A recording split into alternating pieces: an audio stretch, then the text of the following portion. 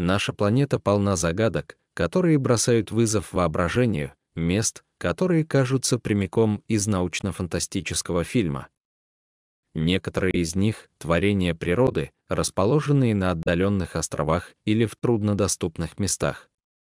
Другие являются произведениями человеческой изобретательности, которые оставались скрытыми на протяжении веков. Сегодня мы отправляемся в удивительное путешествие по необычным уголкам мира. Номер один. Квартира в Эйфелевой башне. Эйфелева башня — один из самых знаковых памятников мира, расположенный в Париже, Франция. Хотя большинство людей знают башню благодаря ее впечатляющей архитектуре и панорамному виду на город, немногие знают, что на третьем уровне Эйфелевой башни находится небольшая частная квартира. Эту квартиру построил сам Густав Эйфель, инженер, спроектировавший башню как личное и эксклюзивное пространство. Это люкс с гостиной, кухней, спальней и ванной комнатой. Эйфель использовал эту квартиру для приема особых гостей, ученых и ведущих деятелей своего времени. Среди самых известных посетителей квартиры был изобретатель Томас Эдисон. Квартира скромно оформлена и сохранена в первоначальном виде, со старинной мебелью и предметами. Сегодня он стал туристической достопримечательностью, позволяющей посетителям получить представление о том, как жил Эйфель, и оценить вид со своей личной точки зрения. В отличие от остальной части башни, квартира не была предназначена для широкой публики, что делало ее эксклюзивной и особенной частью Эйфелевой башни. Из этого пространства открывается потрясающий вид на Париж и его окрестности. Номер два. Пещеры Вайтема, Новая Зеландия. Новая Зеландия — одна из самых красивых стран мира, и неудивительно, что здесь расположена одна из самых загадочных пещер. Пещеры Вайтема, расположенные в регионе Вайтема, чье любопытное название по происхождению маори означает «вода», «белый», и «вход», «тома», впечатляют. Когда заглядываешь внутрь, кажется, что нас окружают тысячи звезд гораздо ближе, чем те, что на небе. Эта пещера стала более чем идеальным домом для тысяч светлячков, особенно вида, известного как арахноцемполумнус. Этот вид грибного комара ярко светится в личиночной стадии, создавая поразительное зрелище. Номер 3. Пещеры Барабар представляют собой комплекс высеченных в скалах пещер в индийском штате Бихар. Эти пещеры имеют значительную древность и относятся к периоду мауриев, что делает их старейшими высеченными в скалах пещерами в Индии. Они известны своими надписями, некоторые из которых относятся ко времени правления монарха Маури Фашоки. Эти пещеры расположены на холме Барабар и прилегающем холме Нагарджун, причем некоторые из них считаются отдельной группой пещер. Они были вырезаны из цельной гранитной скалы, и большинство из них имеют две камеры. Первом должны были собираться большие собрания преданных, а во втором находилась ступа, сооружение в форме кургана, содержащее реликвии. Архитектура этих пещер особенно примечательна благодаря полировке маурия внутри камер, которая создает характерный эффект эха.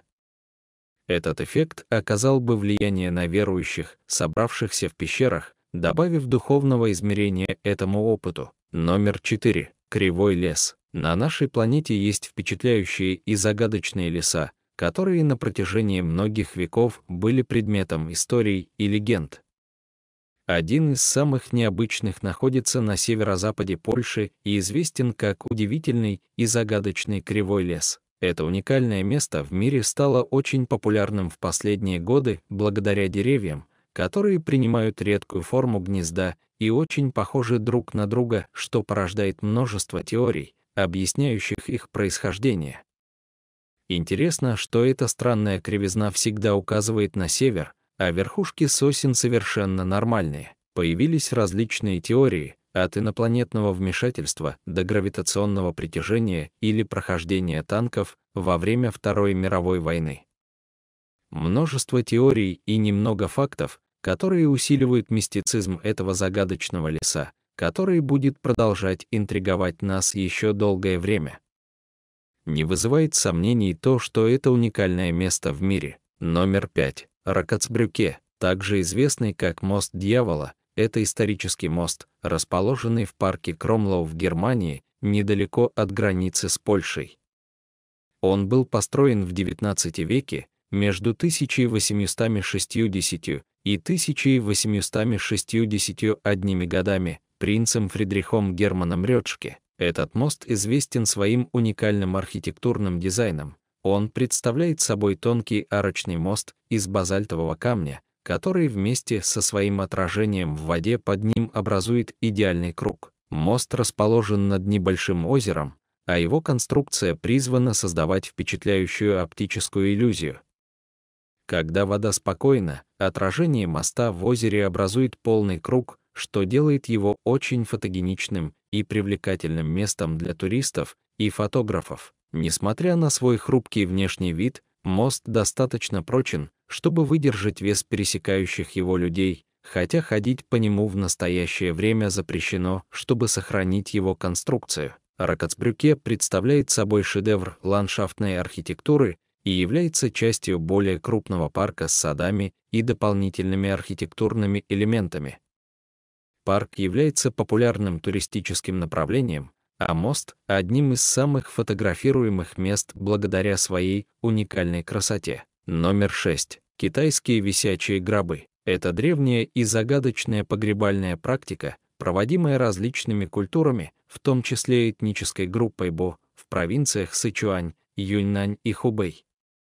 Эти гробы, построенные более тысячи лет назад, подвешиваются на скалах или помещаются в высокогорные пещеры, что очаровывает археологов и историков. Считается, что практика подвешивания гробов служила нескольким целям.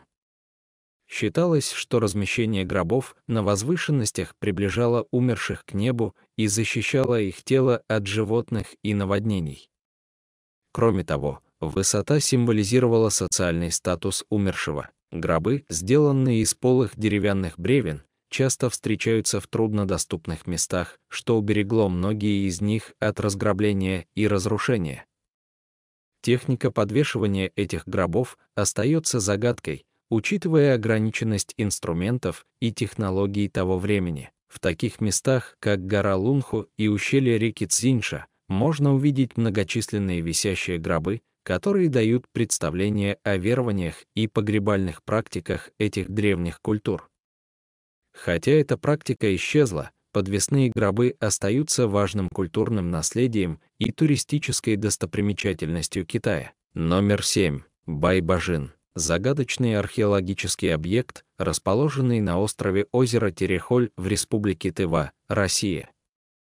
Этот укрепленный комплекс, датируемый примерно 8 веком, сбил с толку исследователей из-за своей изолированности и отсутствия четких доказательств его назначения и обитателей. Название Порбажин с тувинского языка переводится как «глинобитный дом», что отражает основную постройку этого места из сырцовых кирпичей. Дизайн Порбажина необычен, стены высотой до 12 метров окружают прямоугольную территорию площадью около 3,5 гектара.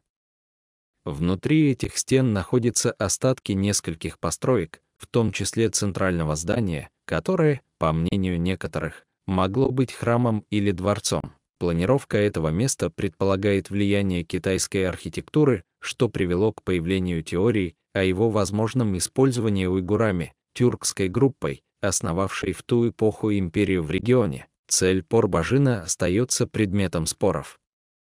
Некоторые археологи предполагают, что это могла быть военная крепость, административный центр или даже духовное убежище.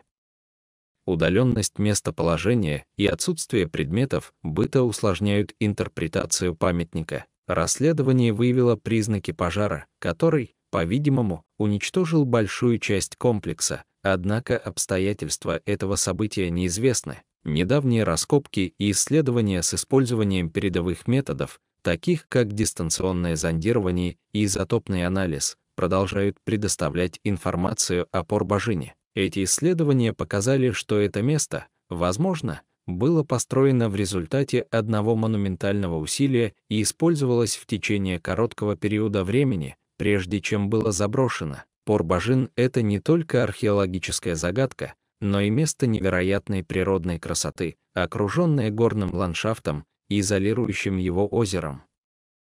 Его тайна привлекает как ученых, так и туристов, заинтригованных нерассказанными историями этого древнего сооружения. Каждое новое открытие в Порбажине предлагает дополнительную часть исторической загадки, расширяя наше понимание культур, когда-то населявших этот отдаленный регион Сибири. Номер 8. Накше ростом. Это увлекательный археологический памятник, расположенный недалеко от древнего города Персеполь в Иране. Это место известно своими впечатляющими рельефами, вырезанными в скалах, и монументальными гробницами царей Ахименидов. Среди монархов здесь похоронены Дарий Ай, Ксеркс Ай, Артаксеркс Ай и Дарий II. Фасады этих гробниц высечены в скале в форме крестов, известных как персидские кресты. Помимо гробниц, в Накшарастаме находятся сасанитские рельефы, изображающие важные исторические события и батальные сцены. Одним из наиболее примечательных рельефов является изображение вступления в должность Ардашира, Ай, основателя Сасанидской империи, на котором изображен царь, получающий кольцо власти от Ахура Мазды, верховного бога зороастрийской религии. На этом месте также находится загадочное здание, известное как Каба-Езартошт или Каба-Зараастра, квадратное сооружение, точная функция которого остается предметом споров среди археологов. Считается, что это мог быть храм огня, место хранения священных текстов или гробница. Накше ростом имеет не только историческое и художественное значение, но также и религиозное и культурное значение. Трехязычные надписи на этом месте сыграли решающую роль в изучении древних языков, помогая расшифровать персидскую клинопись. Это место предлагает глубокое представление о династиях, правивших Персией, и их достижениях в архитектуре, скульптуре и управлении. Это место является неприходящим свидетельством величия древней Персидской империи и ее преемников, отражая преемственность и изменения на протяжении тысячелетий иранской истории. Накше ростом остается важным местом для ученых, туристов и тех, кто интересуется богатым культурным наследием Ирана. Номер 9. Таинственные церкви Лалибелы, Эфиопия. В Эфиопии есть город Лалибела, который на первый взгляд может показаться не очень интересным, если не считать его церквей. Однако эти церкви не только интересны, они ставят в тупик даже современных ученых. Причина. Они высечены из камня и вулканической породы, и каждая из трех церквей уникальна и неповторима, отличается своим стилем. Некоторые из этих сооружений расположены в ямах и окружены скалами, а другие высечены прямо в скалах. По подсчетам ученых, они были перестроены в 12 и 13 веках нашей эры, а на их постройку с нуля ушло всего 25 лет. Возникает вопрос, как древние жители Эфиопии, не славившиеся своими передовыми знаниями и умениями, смогли за столь короткое время создать столь искусные и невероятные церкви с помощью примитивных инструментов. Исследователи до сих пор не до конца разобрались в этой загадке, но у местных жителей есть свой ответ — помощь божественных сил. По местному преданию, для участия в создании этих церквей на землю спустились как простые рабочие, так и ангелы. Сотрудничество человека и небесных существ породило архитектурные памятники, которые и сегодня остаются загадкой. В Африке есть больше загадочных зданий, чем знает большинство людей, а церкви Лалибелы являются уникальным архитектурным сокровищем на континенте. Номер 10. Лестница смерти. Поход на Уайна-Пикчу в Перу временами может быть трудным и пугающим, но это, несомненно, одно из лучших занятий в Мачу-Пикчу, легендарном затерянном городе инков. Не пугайтесь имени. Несмотря на то, что ее называют лестницей смерти Мачу-Пикчу из-за ее крутизны и узкости, за последние годы здесь произошло очень мало несчастных случаев и смертей, и она вполне безопасна, если вы не проявляете неосторожность.